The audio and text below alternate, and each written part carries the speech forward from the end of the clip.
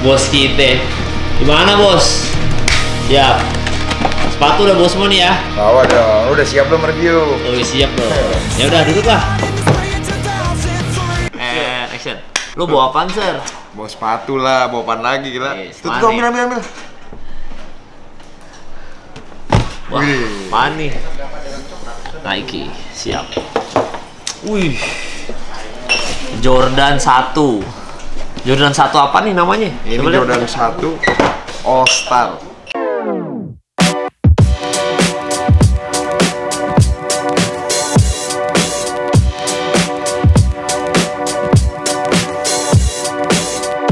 Jordan 1 Retro High OG Yup. AS. Ini tuh Jordan All Star malah. Jadi kemarin kan lagi NBA All Star. Heeh. Ya mungkin ini kali ya edisi spesialnya ya. Yakin lu dia, dia, yang ngejual dia yang galau gimana sih dia kagak tahu. Jadi kebetulan sepatu ini bukan punya saya. saya bener gak tahu loh. Tapi ini keren sih warnanya itu sih apa namanya warnanya kayak bunglon, Bunglon gitu. gitu ya. Ya ya ya, ya tuh lihat bawahnya tuh. Bahasa kerennya apa? Anodized ya. Anodized. Berasa nggak tuh bunglonnya? Tuh. Tuh kan, tuh, tuh, tuh gitu. Terus ininya juga, tuh, tuh, tuh. Ini gitu. Jadi warnanya keren Jordan 1 tapi Berkilau gitu. kekinian tapi OG loh katanya. Masa? Ya nggak tahu lu jual. Oke, sorry Oke. buat yang ini jujur gua nggak tahu sama sekali. Nggak, tapi katanya temen lu yang Teki Heeh. yang punya apa dia 23 23 Kicks. Ya, itu dia bilang eh, sepatu ini nggak dijual di Indonesia. Betul betul. Sepatu nggak ada di Indonesia. Jadi ini sepatu lumayan cukup unik lah karena Air Jordan 1 tapi warnanya bunglon gitu. Jadi bisa berubah-berubah. Ya, oke lah. Yang lain dong, yang lain dong. Siap. Jordan 1 Royal. Ini yang baru rilis nih ya. Yoi, ini Jordan 1 Royal 2017 nih mal.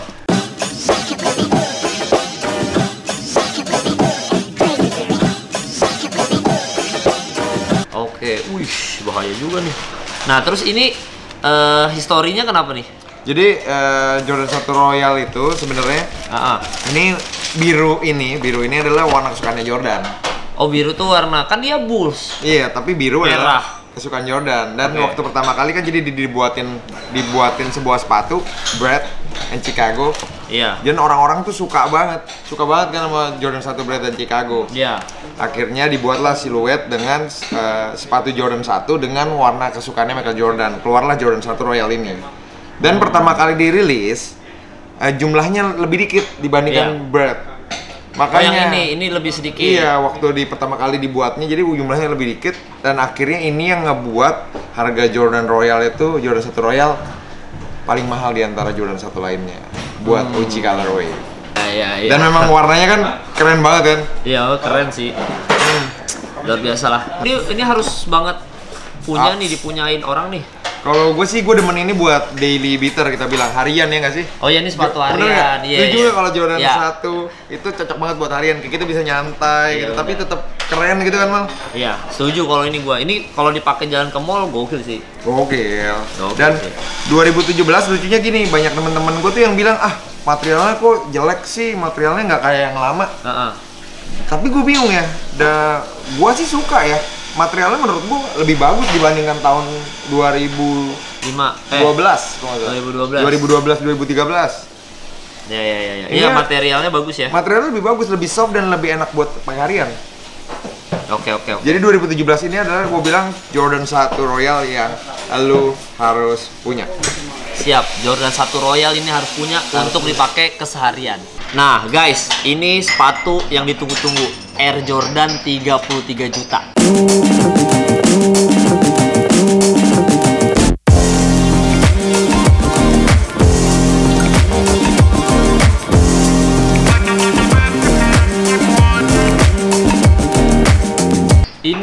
Dia sepatu collab sama Kaos. kaos. Kaos itu kayak mainan gitu sih. Jadi Oh, kayak bukan. Jadi sebenarnya kaos itu tuh dia gravity artist mal.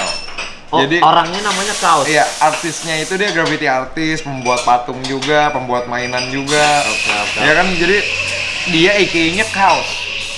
Oh, jadi dia seniman ya. Iya, nama aslinya adalah Brian, Brian. Brian Brian. dan dia collab sama Jordan.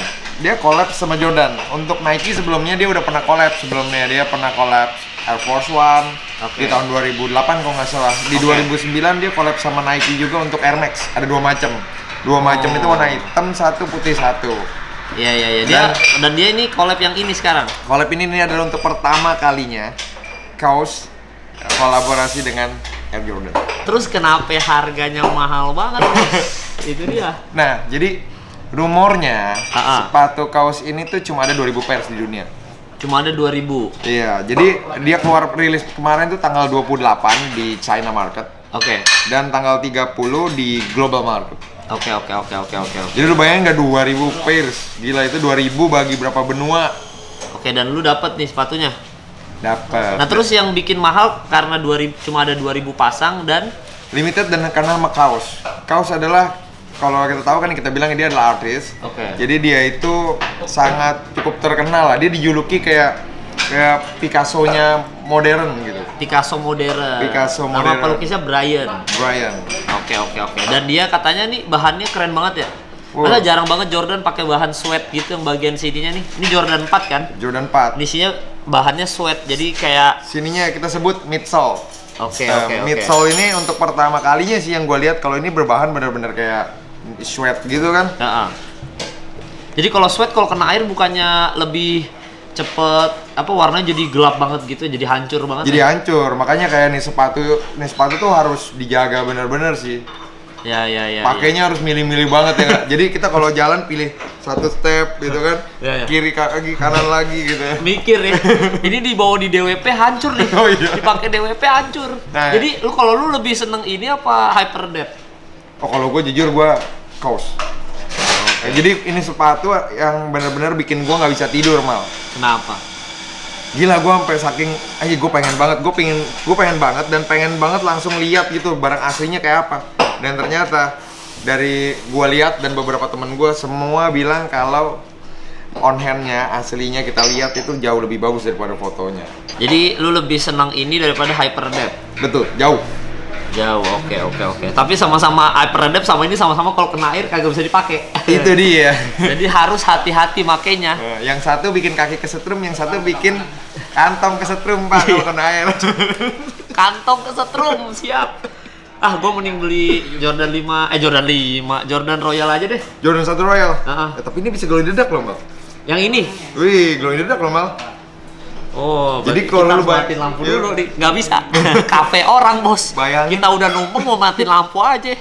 Bayangin pergi ke sebuah tempat hiburan Mhm. yang gelap, tiba-tiba nyala-nyala gitu. Ini. Pecah ya. Udah kayak pro ATT. bisa nyala-nyala bawahnya. Tapi terlalu mahal boy. Gua kalau misalkan nyari sepatu itu yang bisa dipakai sehari-hari. Ntar ya. kalau hujan kena air nangis 33 juta, eh oga juga. Tapi ya menurut gua kalau kolektor sepatu worth it lah Worth it, gini. Karena sepatu ini cuma ada 2000 pasang di seluruh dunia dan ini bener-bener collab yang spesial banget ya. Spesial banget. Tapi kalau gua beli Jordan satu Royal aja karena Satu Royal. lebih ada lebih murah, lebih ada historinya. Itu dipakai Jordan main kan? Eh, jadi OG sih sebenarnya nggak dipakai Jordan main. Tapi itu salah satu sepatu ke kesukaan Jordan ya. Sepatu sa- salah satu sepatu kesukaan Jordan Jordan. Jordan. Ya, udahlah kalau gitu. Thank you, Sir. Thank you. Ya. Ya guys, pokoknya gua jadinya ngambil Jordan 1 Royal aja karena lebih pas di kantong daripada beli yang 33 juta ntar kena air nangis. Apalagi kan gue tinggal daerah Ancol, banjir mulu. Masa naik perahu pakai 33 juta? Waduh, jangan deh. Tapi yang jelas eh, buat yang kolektor sepatu ya belilah karena itu collab Jordan dengan salah satu seniman besar di Amerika sekarang, modern lah gitu ya. Pokoknya thanks for watching, Isar. Thank you. Yo. Gue cabut ya. Ya udah. Gue cabut ya. Lu mau cabut juga. Cabut lah. Ya udah gue cabut ya. Ya, oke, and don't forget to like, comment, and subscribe.